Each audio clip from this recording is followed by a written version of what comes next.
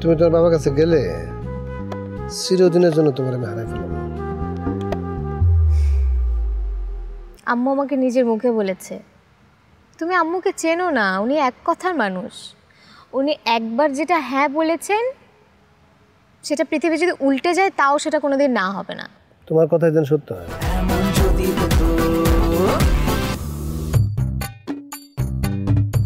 তুমি খুশি হওনি হুম?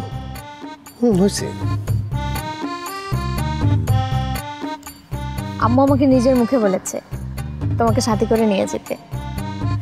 উফ এমন দিনে আমার জন্য অপেক্ষা করেছিল? তোমার আম্মা কিতা করছে? খুব কাঁদলো জানো? কি ব্যাপার? তোমার রিয়েকশন এরকম কেন? কীরকম? কেমন যেন মন খারাপ করে কথা বলছো? না তো এই যে না তো বললা এটাও তো মন খারাপ করে বললা মায়া আমার কেমন যেন ডর লাগতেছে। আমার কেমন যেন মনে হইতেছে তুমি তোমার বাবার কাছে গেলে চিরদিনের জন্য তোমার আমি হারাই ফেলাম আম্মু আমাকে নিজের মুখে বলেছে তুমি আম্মুকে চেনো না উনি এক কথার মানুষ। উনি একবার যেটা হ্যাঁ বলেছেন সেটা পৃথিবী যদি উল্টে যায় তাও সেটা কোনোদিন না হবে না। তোমার কথা যেন সত্য হয়। অবশ্যই সত্যি হবে। কাল সকালে তোমার প্রথম কাজ হচ্ছে এয়ার টিকিট কনফার্ম করা। আমি আর এক মুহূর্ত এখানে থাকতে চাই না। কাল সকালে আমরা ঢাকা ফিরব। ফিরবো না? হুম ফিরবো।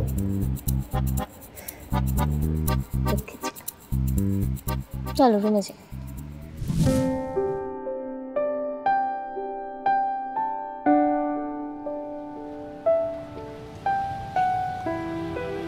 গুড মর্নিং শুভ সকাল।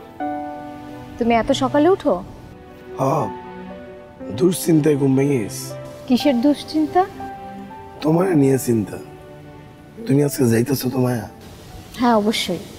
ধন্যবাদ। তুমি কবে যাচ্ছ?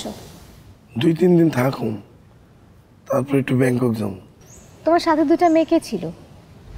সন্ধ্যার সময় আমি ব্যস্ত আমার কাজ আছে। যাব না আমি নাইট ক্লাবে দেখছেন এখন আবার ঠিকই পাঠ নেওয়া শুরু করলেন। আরে বাবা রে বাবা আপনি তো দেখতেছি পুরো শখের করার দুই দিক দিয়ে কাটতেছেন। ওই দুইটা মাইয়া এখানে এসে পরিচয় তার মধ্যে একজনের লগে বিমানে পরিচয় হয়েছে।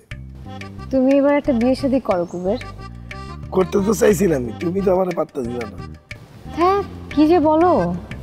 আমাদের সব কিছুতে দেরি হয়ে যায়। যখন ভাবলাম বিয়ে করব বিয়ে করব তোমার যখন পছন্দ করলাম তোমার বলার আগে আগে তুমি বিয়ে করে ফেলাইলা। কি দুর্ভাগ্য কপাল আমার। আবারও? হা আমি সারা জীবনই এগুলো কম।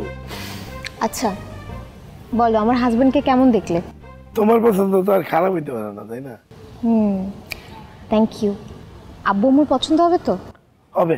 দোয়া করো কুবের আমি যেন সাকসেস হতে পারি। কেন দোয়া করুন না? অবশ্যই দোয়া করুন